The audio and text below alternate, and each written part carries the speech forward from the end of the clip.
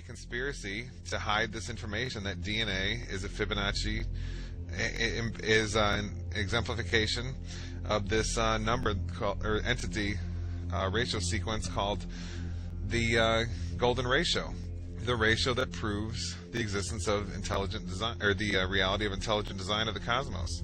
I mean, if you go to the golden ratio site for Wikipedia too on the same theme, um, they don't mention any of this stuff in nature that we're going to talk about here that we talked about in the show two days ago, and that we're talking about here they talk about how it's found in architecture and math and all this kind of stuff.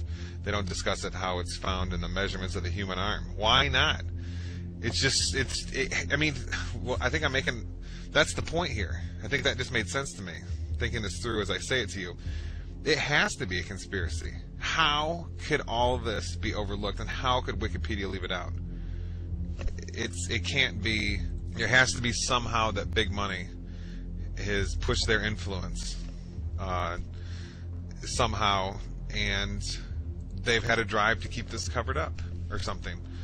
These can't all be coincidences, and since they're doing that with everything else, it has to be the case that uh, there's some movement to keep this stifled. I mean, why isn't? And here's another piece to add to this.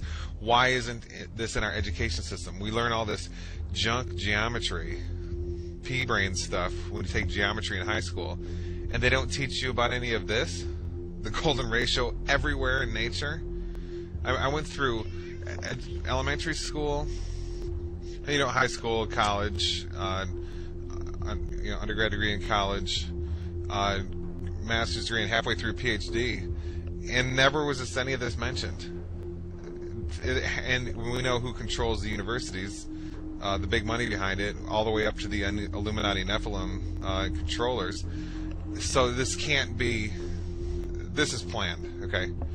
And you just wonder, it's got to, I mean, I'm almost concluding here in my mind this Davidson College site showing up number one in Google all the time and first page, and Wikipedia having these strange measurements which don't correlate with all kinds of these examples from academic sites I'm finding. I'm putting them all, pictures of the uh, screenshots in the newsletter.